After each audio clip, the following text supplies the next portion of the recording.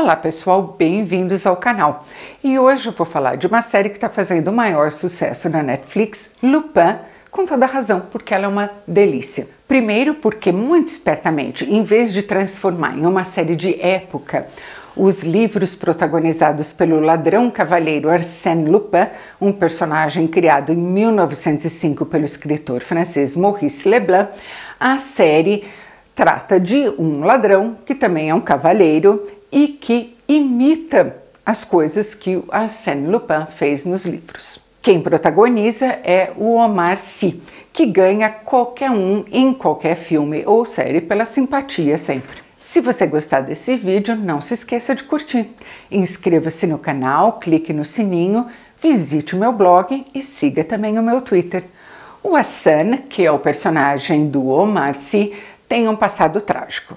Ele era órfão de mãe e migrou com o pai do Senegal para a França e chegando lá, o pai foi preso injustamente por um crime e se matou na cadeia. Uma das últimas coisas que o pai deixou para ele foi o gosto pelo Arsène Lupin, pelos livros do personagem.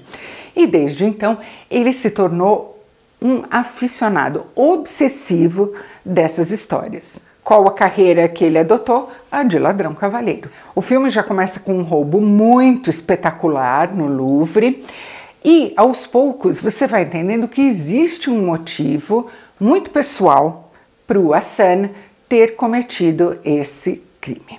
Então a gente tem aqui aquelas motivações clássicas do herói, aquela coisa muito da literatura do século XIX, de Conde de Monte Cristo, é, da reparação, da vontade de ver a justiça ser feita, de se vingar ou colocar no devido lugar os carrascos que atormentaram a sua vida, e a gente tem aquele lado mais leve, mais delicioso, que é o que o Louis Leterrier, que é o criador dessa série, imprime a ela toda. O Louis Leterrier é cria do Luc Besson, ou seja, é cinema pop francês.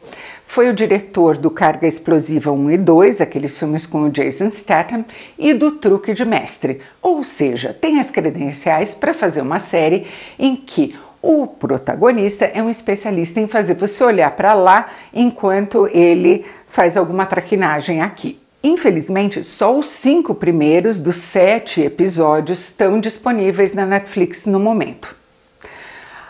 Deixa ali o maior gancho para esses dois finais e, obviamente, para uma nova temporada. É genial, é incrivelmente bem feito, vai mudar alguma coisa nas noites da sua semana? Não, mas às vezes um pouquinho de diversão mais ligeira, bem feitinha, mas sem maiores compromissos, cai muito bem. Muito obrigada por assistir o vídeo e a gente se encontra de novo no próximo.